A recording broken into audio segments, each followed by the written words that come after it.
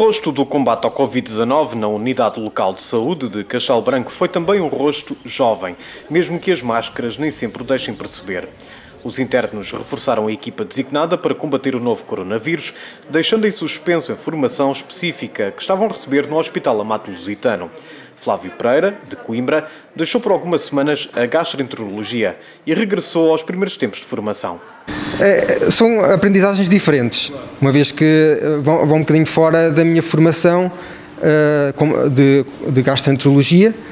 Uh, são, são experiências diferentes, uh, mas ao mesmo tempo, há claro que há, há, há pontos que se cruzam. Uh, pontos como a, a, formação em equipamento de proteção individual, que é necessário agora em, em, em, todo, em todas as enfermarias. Na minha em particular, uh, fazendo endoscopias e colonoscopias, esse equipamento de proteção individual mantém-se para todos os exames, portanto, em termos de aprendizagem e de formação nessa parte do equipamento, eh, isso mantém-se mantém ainda hoje, portanto, foi, foi muito importante.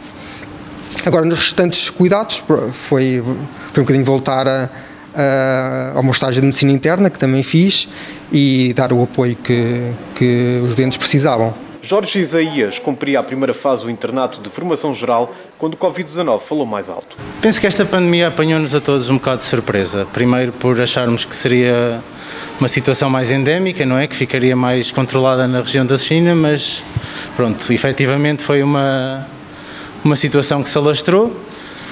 Um, e pronto, para a surpresa de muita gente, para mim, como é óbvio também, um, tiveram que ser tomadas medidas extraordinárias porque também a situação em si era uma situação sem precedentes. Um, mas penso que até reagimos bem, tivemos uma resposta, como o meu colega disse, de prepararmos para o pior, porque penso que é assim que conseguimos controlar o pior outcome possível, não é? E felizmente também, como o colega disse, aqui na região não tivemos uh, uma situação muito conturbada como noutras regiões do país que ficaram mais afetadas pela pandemia. Não tenho a mínima dúvida que em Castelo Branco as coisas até agora uh, têm corrido bem, em grande parte à custa do trabalho deles, uh, desde o início que foram recrutados para esta tarefa, apesar de alguns terem pouca experiência, terem começado a entrar digamos que no, no, seu próprio mercado de trabalho, alguns são médicos, tinham três meses de, de, profissão quando, quando isto começou, pelo na formação geral, na formação específica já tinham mais anos de, de trabalho, mas seja como for, uh, requeriu muito daquilo da parte deles, uh, foi um, uma sensação quase de guerra que eles passaram, mas estiveram todos uh, excelentes, um, com algumas perdas para a sua formação que era previsível mas com grandes ganhos que de outra forma não, não, não iriam nunca uh, acontecer. A participação nas equipas de combate à Covid-19 implicou novos horários e novas tarefas, dentro e fora do hospital. Trabalharam pela primeira vez de dia, de noite e aos fins de semana. Uh, fizeram de facto um trabalho extraordinário e ainda tiver, fizeram parte das equipas que vão aos centros de saúde ou, que, ou outros locais fazerem, uh, portanto, a colheita dos testes. Uh, penso que sem eles nós não conseguíamos fazer qualquer tipo de trabalho uh, possível. Uh, foram eles que, que, se disponibilizaram, foram eles que se organizaram. Houve quem fizesse inclusivamente apoio telefónico, que fizesse consultas também por telefone, que seguissem os doentes em trace Covid com o regresso a alguma normalidade, é tempo de recuperar a formação inicial e há um compromisso para que não sejam prejudicados. A própria formação em si foi uma formação diferente, apesar de eu pensar, na minha opinião, que pronto, estas adversidades também faz parte da nossa formação, não é?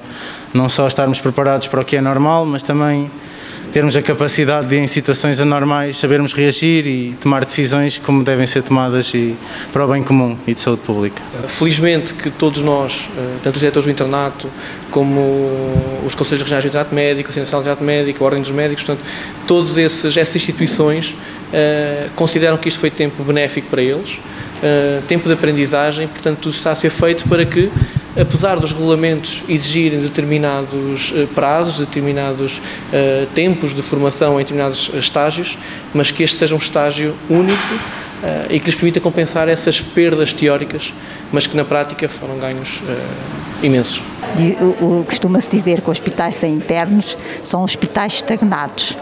Aqui provou-se bem, foi uma grande vantagem termos os internos nesta casa e o que eu apelo é que eles venham e que fiquem por cá futuramente. E esta é uma das grandes questões para o futuro, não apenas saber se haverá uma segunda vaga do novo coronavírus.